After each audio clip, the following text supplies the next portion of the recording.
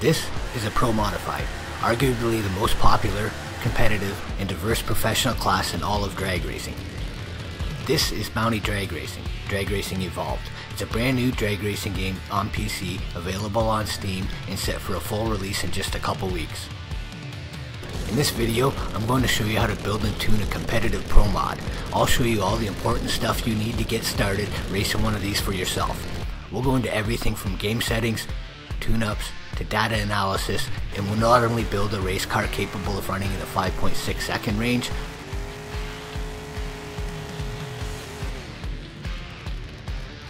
I'll show you what you need to know to be able to adapt it to the game's ever-changing weather and track temperatures.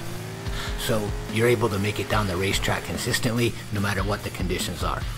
But the end of this, whether you're brand new to the sport or a seasoned veteran of drag racing games past, you'll know everything you need to so you can get started and join in on the action with this growing community of competitive online drag racers and find out for yourself why these cars are so popular all around the world.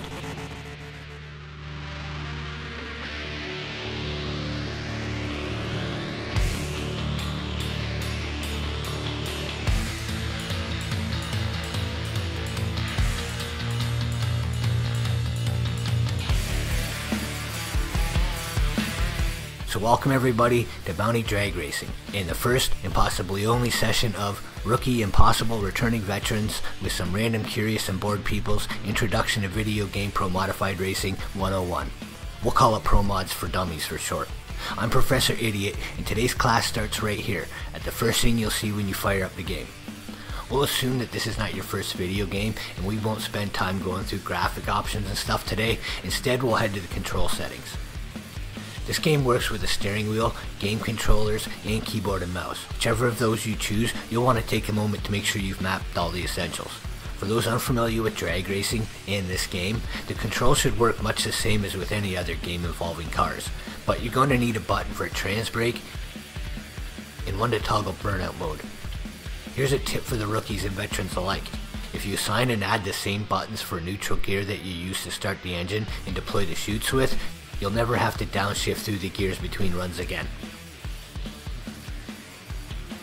With your control set up, you'll want to head over to the garage to pick your car. Bounty Drag Racing comes with a pretty decent number of classes to choose from. It even includes a paint shop with enough tools and features to create some pretty sweet looking race cars. For today's video, we'll be using the Pro Modified Camaro, although not this one. I thought I would show you around the paint shop for a quick moment, as I took the liberty of painting us a custom car just for this occasion. The paint shop allows you to just spray away with any color you want. It comes with enough textures, stickers, decals, and letters to create just about whatever you could imagine. Now, let's go test. For today's class, we're going to set up our own room to test in so we can have the track all to ourselves.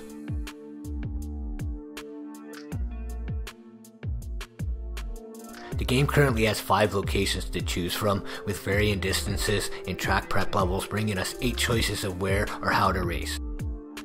We will be going to Straight Line Media Raceway and running a full quarter mile. One of the really cool things about Pro Mods that make it so appealing is the number of possible engine and car combinations.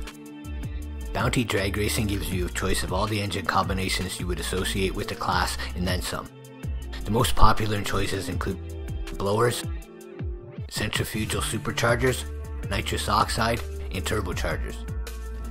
While each combination presents its own challenges to set up, tune, and drive, there doesn't seem to be any major performance advantages between them.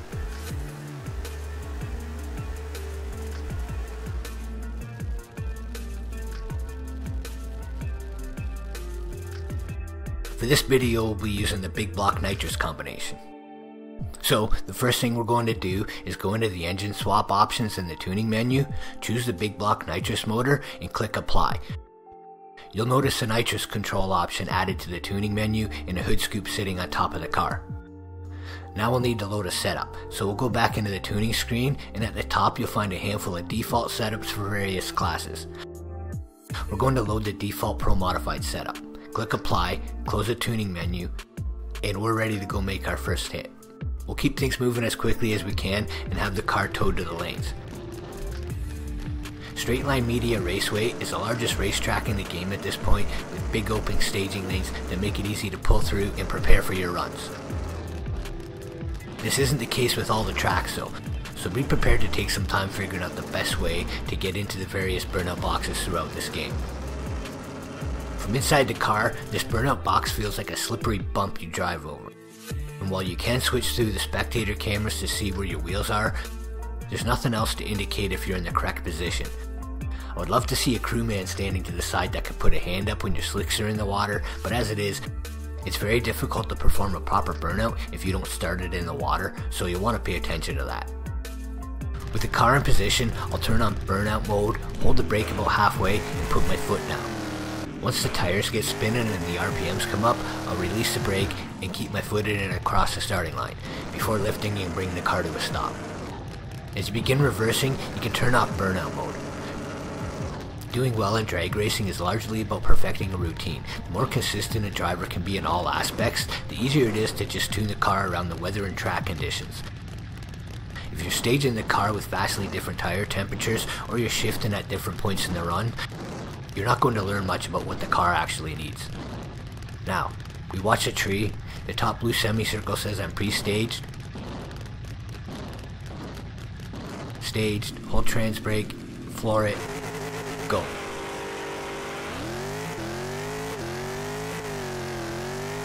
Through the gears, throw the chutes, and we just run a 620 at 245 miles per hour to start things off. At this point you can drive it off the end of the track if you choose, or hit escape to bring up the option to tow it back to the pits, and we'll do just that. Now, just like real racing I suppose, here's a bit of an annoying part of our routine here, and I recommend doing it as soon as you're back in the pits, and that's repairing your race car. It's cool to see how much wear you put on the parts each pass, but that means clicking on the repair or replace buttons after every run. Now, let's go have a look at that tune-up. I suspect from the way the RPMs fell flat in 4th gear that the default setup we're using is built with the blower combination in mind, as they usually run 3 speeds, while the nitrous cars run 4 or 5 most commonly. With the first 3 gears set to 2.6, 2, and 1.7, we'll make a reasonable guess and set 4th gear to something usable. Besides clicking the arrows to change your tuning values in various increments, you're also able to click the box itself and type the number you want to really fine tune it. So with that, we'll set 4th gear to 1.55, apply it, and hit the lanes for run number 2.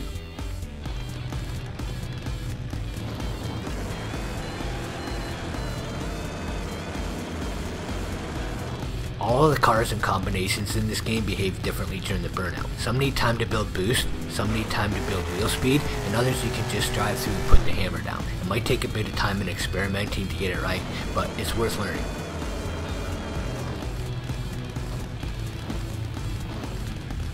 Here we go.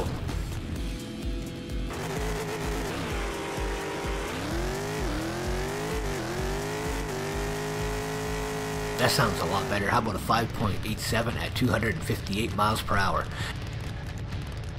A half second and a 13 mile per hour improvement from our first setup change. I only wish the rest would come so easily. Let's go back to the tuning menu and have a look at the data logger. While it may look confusing if you're not familiar with something like this, we're only really going to be looking at a few things here between runs, and you're able to turn off a lot of this stuff to make it easier to see. The two we want to look at most here are the red line representing RPMs and the light blue line indicating clutch engagement. With the red line, ideally we would like to see a smooth building in RPMs off the line and consistent and relatively even shift points. On a good pass, the RPM shouldn't drop below 6000 from second gear on. On this pass, we had an evenest spacing through the gears and in a good RPM range, it was just a complete dog off the line, it didn't actually build any RPM for more than a second. For comparison, let's look at the graph from a 5.50 268 mile per hour pass made in similar conditions, and you can see just how much quicker it run through the first couple gears. You wouldn't need to see either run or even a time slip to know which of these two runs was better. For this pass we'll go to the drivetrain settings. The first thing we'll do is lower the clutch engagement RPM to make it a bit easier to inch the car forward on the starting line. Then we'll go to the engine tuning menu, but we'll raise the RPM that the shift light comes on and launch the car at 6500 instead of 4500 RPMs to hopefully get it off the line quicker. Let's take it to the track and see how it goes.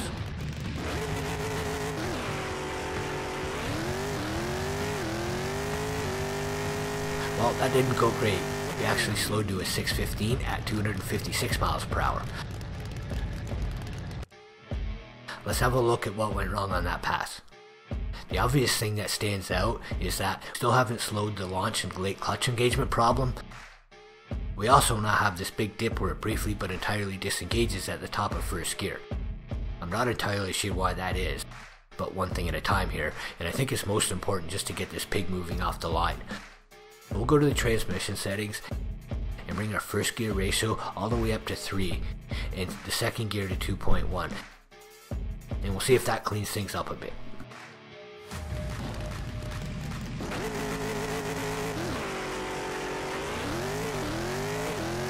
Well, it was still a bit sluggish through first gear and a dog in fourth, and we only managed at 605, but we learned from every pass, and it was slightly better than the run before. Looking at this, it appears all we really solved that last pass was to move the sudden clutch disengagement to later in the run where it was slightly less detrimental to the ET. So obviously, if we're having clutch issues, we should maybe go try something different in the clutch. We'll go to the drivetrain settings and drop the variable engagement from 2000 to 1000 and go see what happens.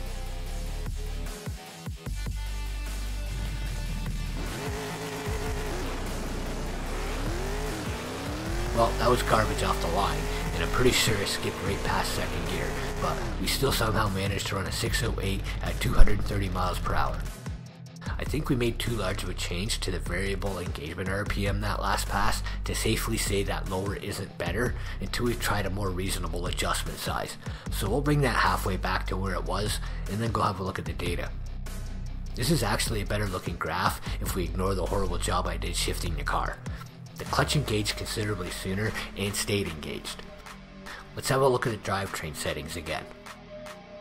I think if we slow down the clutch engagement just a bit more than it currently is, it might allow the RPMs to come up properly through first gear, and we'll lower the slip torque just a bit to get some of the power to the ground. Now we'll see about fixing this uneven RPM range between third and fourth gear. It's hard to say if second gear is at the right ratio since we didn't really use it on that last run, so for now, we'll assume it's okay and just lower third gear to 1.6 and fourth gear half as much down to 1.5 to keep the revs in the sweet spot and we'll go make another hit.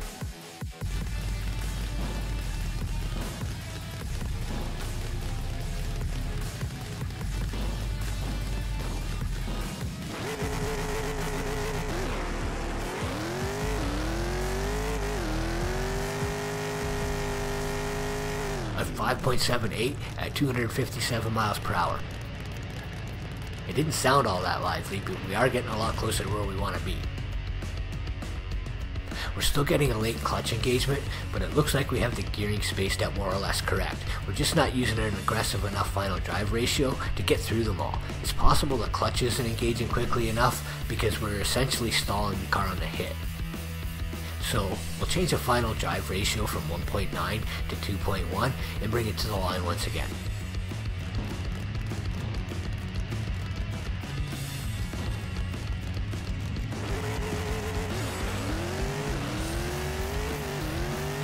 Bouncing the rev limiter at the top of second gear, it's still going through with a 5.70, 257 miles per hour. Let's look at the data again. You see the clutch is finally engaging much quicker, although still not perfect. What we're looking at here is a large RPM drop between first and second, and this flat spot between second and third. The drop off between first and second would normally be a sign of either too much first gear or too little second. However, in this case, you can see that the first second shift happened about a thousand RPMs early, and had I run it out a little bit more through first, this drop might not have been half as large. More concerning is this flat spot. If you're not gaining RPM, you're not accelerating. What we'll do here is bring third gear up to 1.65 from 1.6 to shorten the gap from second, while at the same time creating a little more space between third and fourth. If I drive it correctly this time, it should run better.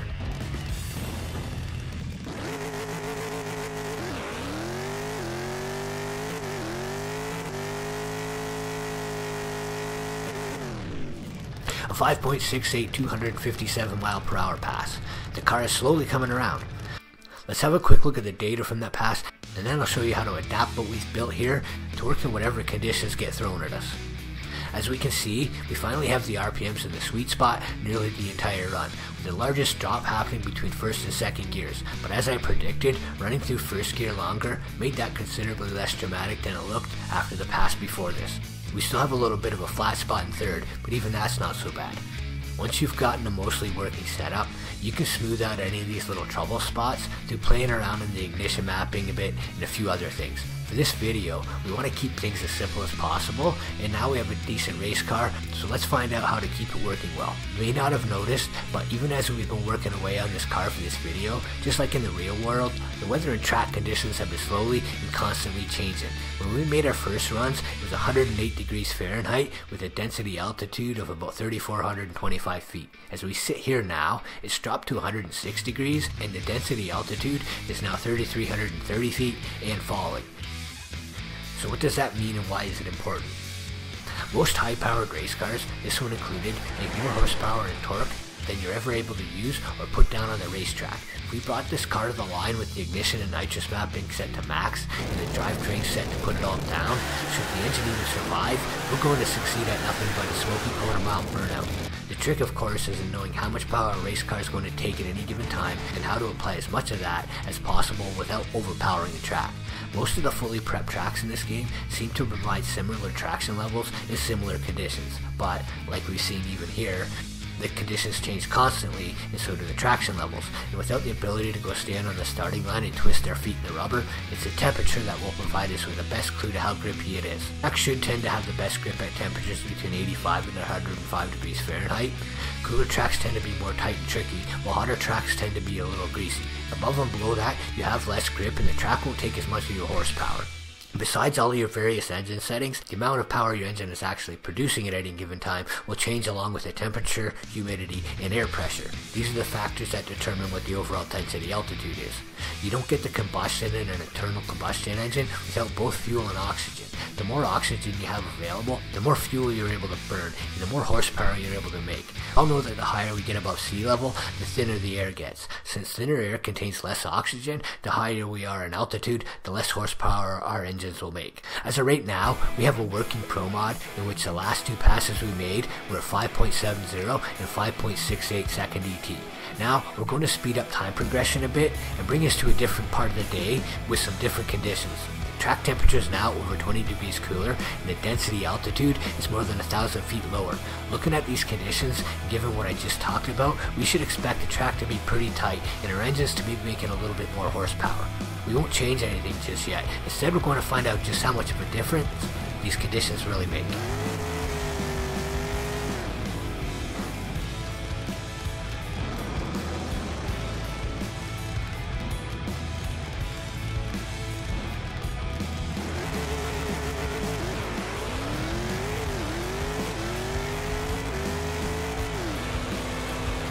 610 at 224 miles per hour. I'm not sure if it dead hooked or maybe the clutch was too tight through first, but it took a really long time to build RPM. Then once it did, it powered through the rest of the gears so quickly, I had to use a fifth gear, which we didn't actually set up to use. With a tighter starting line and more available power, our 5.68 second setup came off the line like a pig and then blew through the gears. So, well, not to do that again, we'll lower the final drive ratio from 2.1 to 2. We'll add a little more clutch slip to see if it helps us get through first gear a little quicker.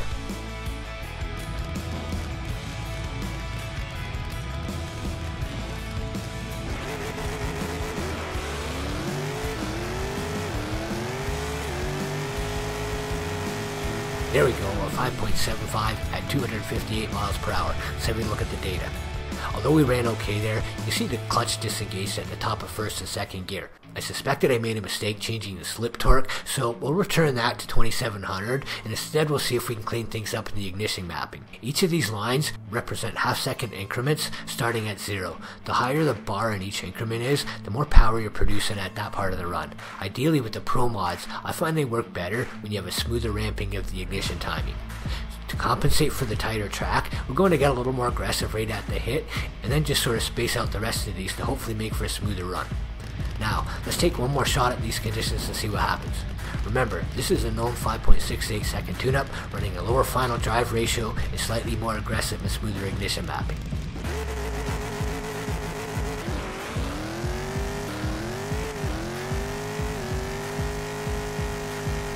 How about that? Another 5.68 at 259 miles per hour. While I would call that a success, we're not quite done just yet. We're going to make two more passes for um, science. As silly as that might sound, it's really not. Science is about testing and experimenting and being able to make accurate predictions based off an accumulation of results.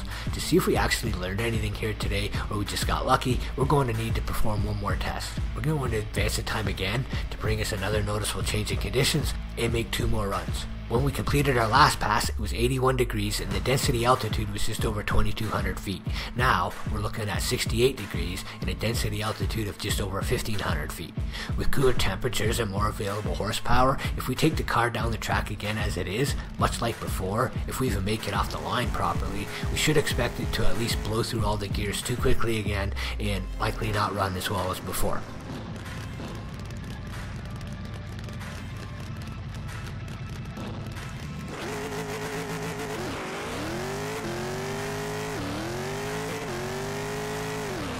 Just like we should expect, needing a fifth gear that just wasn't there and running a 5.78 at 241 miles per hour. You can see here it made it through first and second pretty well before a big drop into third with very little drop going into fourth. So for our final pass, we'll race third gear just a bit, add a usable fifth gear and go send it.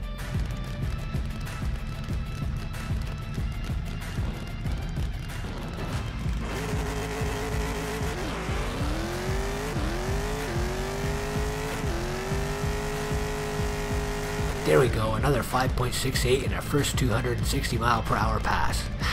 That will wrap up Pro Mod for Dummies 101. We built a pretty decent running car here, and from what we've learned, we should be able to keep it that way. I really hope you enjoyed this, and I hope it was helpful for those of you interested in giving this a try.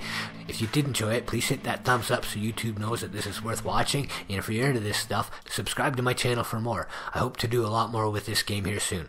Thank you all for watching. See you in the lanes.